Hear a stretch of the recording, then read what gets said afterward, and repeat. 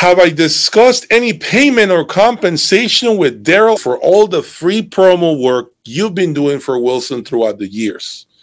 You are their primary advertiser.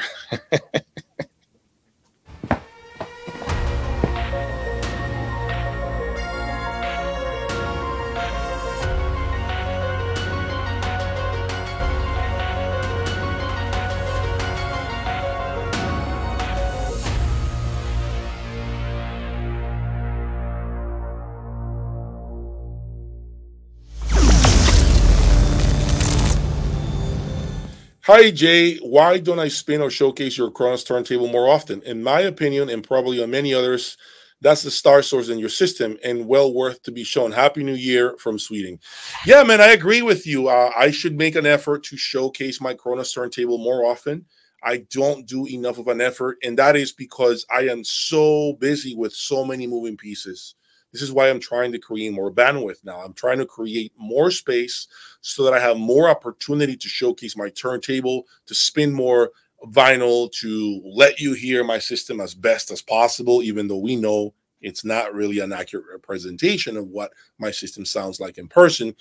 Um, but I agree. I just don't do enough of an effort. I don't make enough of an effort. I think the last time I heard it for hours was when my friends – uh, Oz and Carlos and Luis showed up and we were like spinning vinyl. I think they brought their own and, and it was a killer time, you know. Um, I feel like I enjoy playing vinyl more with others than by myself, if that makes sense. I don't know if this happens to you all, but I feel like I, I get more out of the vinyl experience when others bring their records and I get to discover their music collection and it's so enjoyable. They show me this pressing that they bought on eBay for a thousand bucks, and right. And so I think it's just more like, whoa, thank you for sharing this one thousand dollar pressing with me, and like let me let me hear what's possible. And so you get to hear different levels like of recordings, right? And I think that's what makes it more enjoyable for me anyway when it comes to uh, playing vinyl. Um, by myself, I don't know, man. I just don't know if if it's all there for me as far as the the uh, experience. The experience, don't get me wrong, is phenomenal. Love the sound, but I just like to share it with others more so that they can bring their collection too, and we can play and spin some records. Right? To me, that's the more like the more fa- more fun part of the hobby, if that makes sense. But your Mark Levinson amplifier has developed a faulty a fault. Luckily, it was under warranty from a dealer. Would you keep the amp or request your money back? Well, first of all, if the amplifier broke and it's been six months since it's, you know, since you he sold it to you, I don't think you can get your money back. Number one. Uh, but if it's an amp that just you just took delivery of it and it's broken already, yeah, I, I get a refund. Yeah, absolutely, I get a refund. I mean, I feel like if something breaks within the first 14 days, I'd say, okay, and you have treated it the right way. You haven't been tinkering with it or doing things you're not supposed to. Okay. I feel like if something breaks that fast and it's a brand new component and you were fair to the dealer, meaning you did not get like wholesale wholesale prices, okay, from the dealer. I've said this many times, okay, that if you want white glove service, be fair to the dealer and what you're paying them for a product. I feel like you should be able to get a replacement. Now, the problem is this some brands, some brands are so good that the dealer would call and say, Hey, remember that 432 Mark Levinson amp that you shipped to me two weeks ago? Well, the customer says it's broken. I brought it here to the store and it's not working. Some brands will say, No worry, we'll send a new one. And they'll take back the old one. And I'm assuming they fix it. I don't know what they do, or they uh, use it for parts. Who knows? And then they'll give they'll give you a brand new product. Other brands will be like, okay, we'll send it for repair. It's hard for the dealer to essentially come out of pocket now to give you all that money back for an amplifier that they're, they're now stuck with. See what I'm saying? That's what's difficult. Okay. But if this dealer has a relationship with you, you've bought a lot of things from them, you've allowed him to make money, you're not nickel and diamond him. Some people are really brutal when it comes to doing this. Okay. Um, and he's made and he's treated you fairly and done business with you, okay, I think he probably would take it back and say, okay, no problem. I'll go ahead and uh, take it back and take credit towards anything else in the store uh, that you want, right? That's a good dealer right there. That's a good dealer. But that's when you have built a relationship with him. You've been fair to him. He's been fair to you. You have a great, great business relationship. Um, I would say, man, try to see if they can swap it out. If you have a good relationship with him, get something else. But if you want me to recommend something in the forty-five to five thousand dollar price point, um, it's uh, I, I, would say look at the used market. Just remember the used market does not have warranty oftentimes. I would probably look at a um, for five grand. You know what amplifier I'd like if you can find one? Simaudio 860 version one. Okay, if you can find it for five ish, I don't think it'll be four, but you can probably find one for 55, maybe six. If you can stretch it to six, I think the 860 version one Simaudio is a great amplifier to look into. Um, yeah, the Luxman 900U is still about $8,000, so you're not going to be able to buy that. Uh, but yeah, I would say the 860 version one Simaudio uh, should definitely do the trick for you. Okay, I'd love to see more of your reviews. I'd love to see an interview with Daryl Wilson. Any chance that could happen? You know, you are the fifth person this month that has asked me, last month, I should say now, that, that has actually asked, why is it that I have not had Daryl Wilson on my channel with the amount of Wilson audio speakers that have been through my room? I think it's nine pairs and counting. Uh, it's an interesting conversation, to be sincere with you. Um, I have seen him on other channels, uh, s- smaller YouTuber channel, YouTube channels, uh, and with people that don't even have a Wilson audio speaker, let alone his creation, his best creation to date.